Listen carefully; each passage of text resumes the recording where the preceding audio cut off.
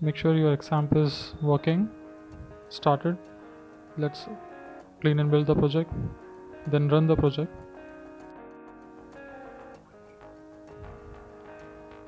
In the store management project let's just create a seller named mark with a dummy contact number and some address.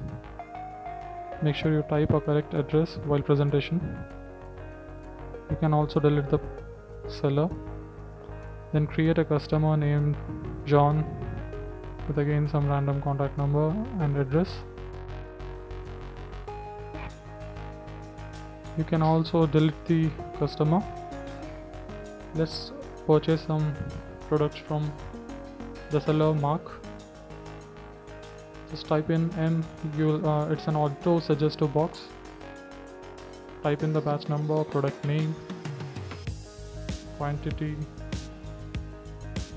the purchase rate and selling rate the expiry date then submit it. We have just purchased 43 quantity of soda. You can update here. The selling price from 25 to 26 just to check it out. The update you can check the update here.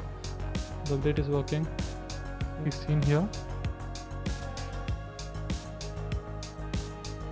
now let's check the inventory. We have just purchased 43 sodas from mark.